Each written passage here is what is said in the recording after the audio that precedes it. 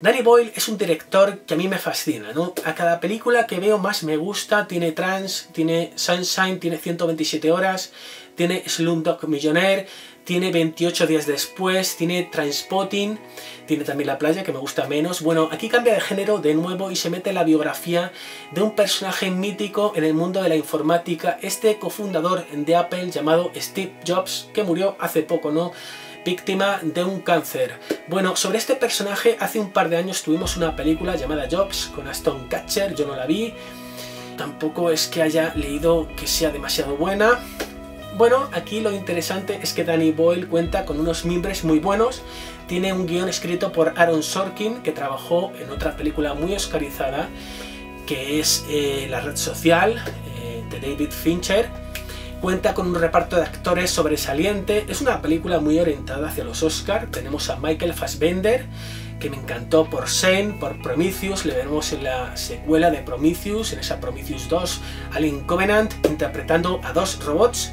Tenemos a Kate Winslet, eh, conocida por Titanic, ahora está haciendo la saga de Divergente. Tenemos al cómico Seth Rogen y tenemos a Jeff Daniels, que hace poco le vimos en la película Marte, ¿no? Bueno, esta película que nos cuenta la vida de Steve Jobs, eh, su argumento pivota sobre tres momentos em, de la vida creativa de este personaje. Tenemos el año 1984, el año 1988 y el año 1998.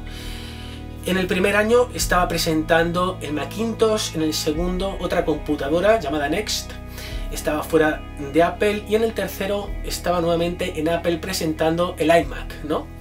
Bueno, eh, la película no nos mm, muestra o no quiere centrarse en lo que eran las presentaciones ante el público de esas computadoras. No, todo ocurre entre bambalinas para que conozcamos al personaje, cómo era, cómo se relacionaba con sus compañeros, con sus jefes eh, de Apple, incluso con su hija y con la madre de su hija. Y bueno, pues en ese marco tenemos a un Michael Fassbender épico, sensacional, brutal su interpretación en esta película. Si queréis ver un ejemplo de una actuación sobresaliente, por favor tenéis que ver esta Steve Jobs. Me quito el sombrero ante Michael Fassbender y directamente me entrego a él para darle el Oscar este año porque su papel es sensacional. Tenemos a Kate Winslet que hace también un buen trabajo como esa directora de marketing. Tenemos a Jeff Daniels que está muy bien, tiene una escena de diálogos con Michael Fassbender con escenas eh, flashbacks del pasado, ¿no? Que me ha encantado. Eh, tenemos una película a nivel de dirección también muy buena, con ese típico aspecto visual que le mete eh, Danny Boyle. Es un director que bueno, aporta su estética eh, a nivel de imagen. fijaros que tenemos tres, tres puntos, ¿no? O tres actos en la película uno en el año 88, otro en el 84, el primero, y el último en el 98. Bueno, pues cada uno de ellos tiene un tipo de imagen. Tenemos un uso de la banda sonora con temas originales, pero también con otros, con otros temas clásicos que potencian las escenas de diálogos, unos diálogos súper trabajados entre todos los personajes. Es una película que no ahonda en su enfermedad, no, directamente eh, se nos dibuja más o menos cómo era el personaje.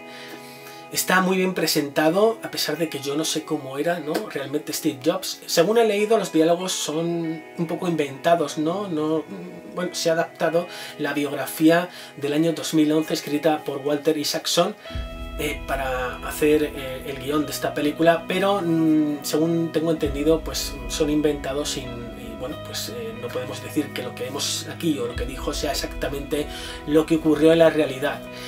Pero bueno, si queréis ver una película con magníficas actuaciones, con una dirección eh, muy buena de Danny Boyle, con una buena banda sonora, un buen apartado técnico, pues solo os puedo recomendar que veáis esta Steve Jobs porque yo creo que os va a gustar mucho.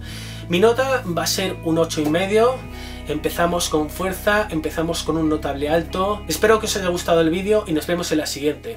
Un saludo.